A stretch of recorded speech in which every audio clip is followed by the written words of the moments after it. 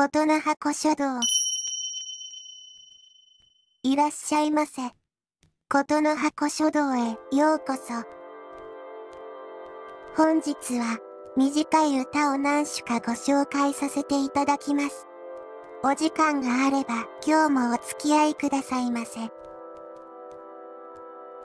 葉の響きと心に浮かんだ情景をお楽しみいただければと思います。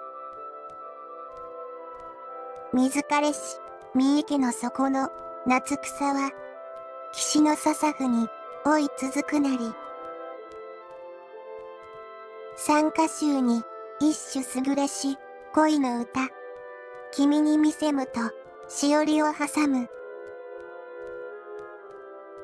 橋の絵に夜深き月に照らされて、二人よりしかはこと現れき。茜さす、真昼のほかは、あいかねて、月の汚ろを、行くところなし。炊きごもる、香の匂いは、月影の、赤きとなむに、漏れて漂う。月見より、夜更け帰りて、手探りに、部屋に入りし、君火を灯しける。ゆっくりかに、もらいし花の、ボタンいけて、わびーの部屋を、輝かにせり。吹き募る、台風の中に、モズが来て、玉ゆら泣きし、声は通れり。妻と我、町へいでゆくを、おのずから、田んぼの道の、葉先が隠す。ムササビが、泣きていでくる、黄昏の、時は定まれり、必ず泣くも。川田淳陶器より10種ご紹介させていただきました。個人的な解釈となりますが、一種解説をさせていただきます。炊きごもる、香の匂いは、月影の赤きとなむに、漏れて漂う。夜の情景を読んだ詩でございますね。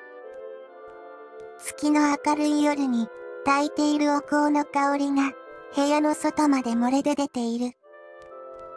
わざわざ香を炊き込めるのは、恋人に会う時ぐらいでありますので、仰せを楽しみにし、心待ちにしているという心境が伝わってきます。わかりやすく言えば、デート前の心境でございます。あの楽しみなような、不安なような気持ちということですね。